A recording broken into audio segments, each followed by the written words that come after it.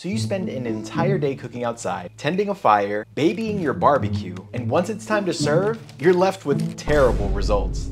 well, I'm about to show you three barbecue mistakes that if you can avoid, can get your barbecue looking like this instead of this. And the barbecue cooks who can avoid them will finally be able to make fantastic barbecue consistently every time the grill is fired up. So to understand this first mistake, let's play a game. So on your screen are three pictures of smoked brisket, and I need you to tell me what's wrong with each one. I'll leave it on the screen for a moment, but feel free to pause the video if you need to.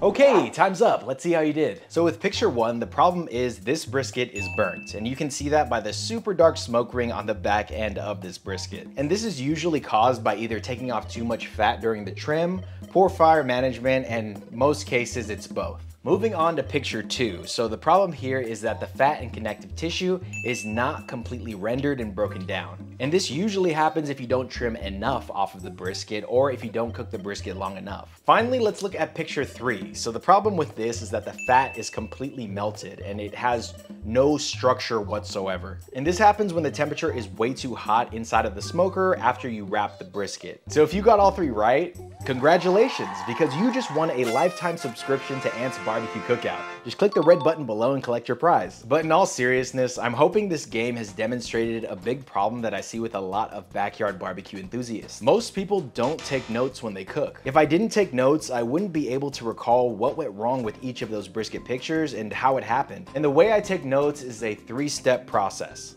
Cook, observe, record. So of course you're gonna have to actually go outside and cook. I mean, you can't just stay inside all day watching mad scientist barbecue videos thinking you're gonna somehow get better at barbecue. Go outside, try new things, and most importantly, have fun. For observe, make a hypothesis. Try and get darker bark on your barbecue or render the fat faster. Then while you're cooking and after your barbecue's done, observe to see if your hypothesis was correct. And finally, record. So this can be done in video form like I do on this channel, or you can do it in written form in a barbecue journal. And for those of you interested in recording via journaling, Pitmaster Joe Yim has a video on his channel where he goes through his own barbecue journal, so you can get some ideas from that. So I highly recommend that you check out his video to see his process, link in the description as always. But whichever method you use, just make sure that you have a record that you can go back and review. Because if you don't remember what went right or wrong during the cook, you won't be able to replicate the successes or avoid the mistakes when you cook again in the future. So the second mistake is overspraying your meat. And I have to say that I see this mistake all the time, especially on barbecue YouTube shorts and barbecue TikTok. And I'll show you exactly why this is such a huge problem with these biscuits. So this is my biscuit and this is your biscuit. And I'm gonna be cooking both of these biscuits at 350 degrees Fahrenheit for 15 minutes per the package instructions. However, after the first five minutes, I'm gonna be spritzing your biscuit with water every one minute until the 15 minutes are up.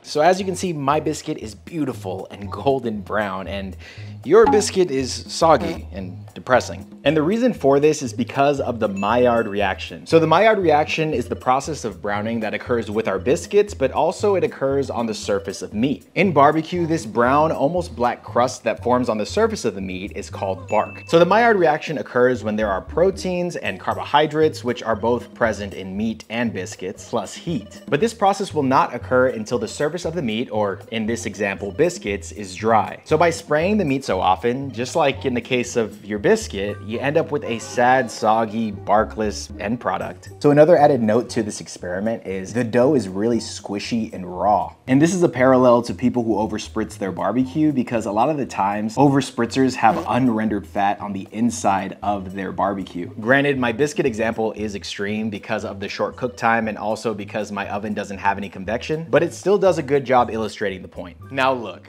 I get it. If you're not using an offset and you're not having to manage your fire every 30 minutes or so, sitting around waiting for the meat to be done is kind of boring. And so spritzing is just something to do to pass the time. But if you want a much more entertaining way to pass the time, then you should download Raid Shadow I'm, ju I'm just kidding, but man, that would have been such a sick place to put an ad. Anyways, spritzing is meant as a tool to fix your barbecue, not as an actual step in the barbecue process. It helps slow down the cooking process on the parts of the meat that are finishing too quickly through the process of evaporative cooling. Honestly, if you trim the meat correctly and you manage your fire well, you won't even need to spritz your barbecue.